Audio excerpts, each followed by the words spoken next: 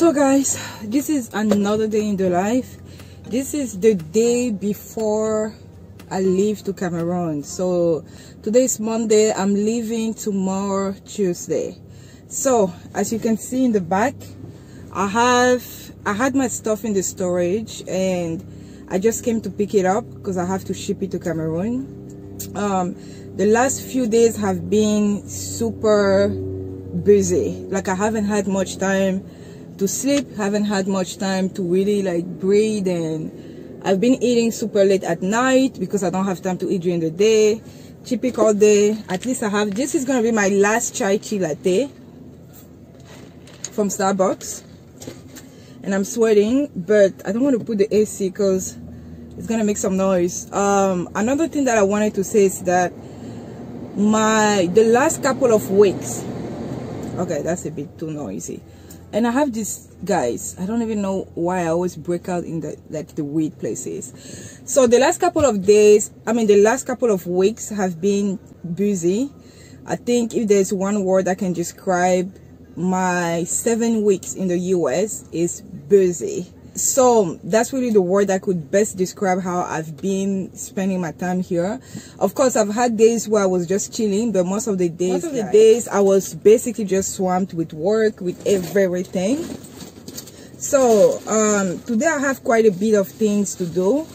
The first thing that I would do is basically go to the warehouse to drop off my things so that they can be shipped to Cameroon.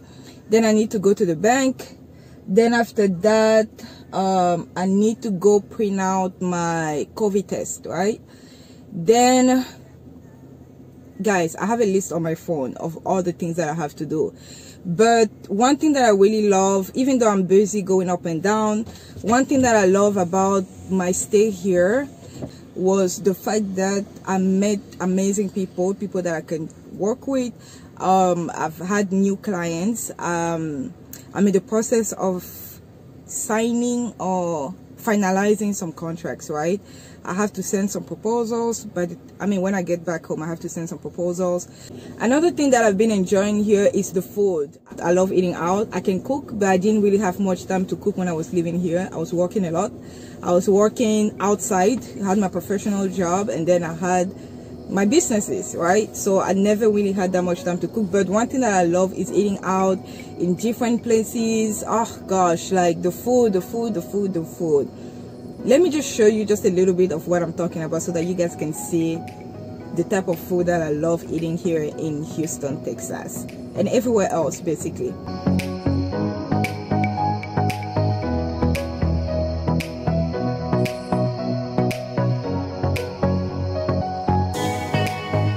I think in terms of work, I didn't expect to have the workload that I had coming in the US. I was expecting to meet some clients.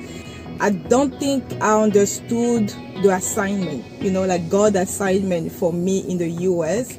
Um, it actually led me to to doing things, administrative things faster to make sure the company is actually ready to take on contracts there are so many things that you know I had planned to do when I was coming here in the US but there are also so many things that I did not expect and in a good way right I was able to travel to different places. I was able to meet new clients. I was able to you know work for some clients. And i was also able to meet amazing amazing companies that you know want to partner so that we can work together on some projects in the near future. So super duper excited. Um yeah i'm just grateful. Guys i have to get going because i'm running late on my schedule but i hope you guys are doing well i just wanted to talk to you. This is going to be my last video that I'm gonna do here and maybe I'm gonna show you the footage tomorrow when I actually fly. So I hope you guys are doing good. I still need to go last minute shopping because my mom made sure that I didn't forget some things that she wanted. So you know how it is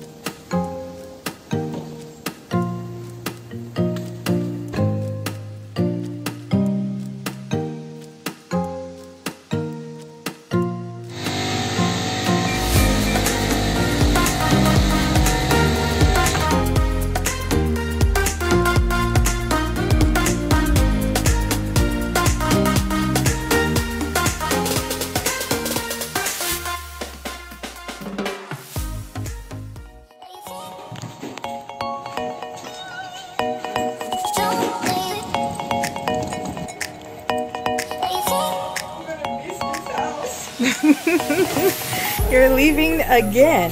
I know. I'm gonna miss this like you really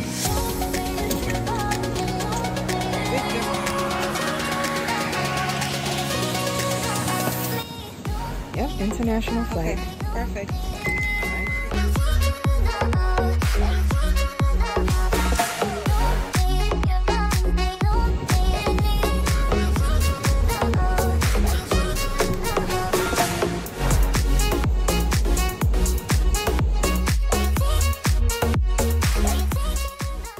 Guys, I'm finally at the airport. Look at all the people. It's crazy. Hi. Seeing eyes of mine. What do you feel beside?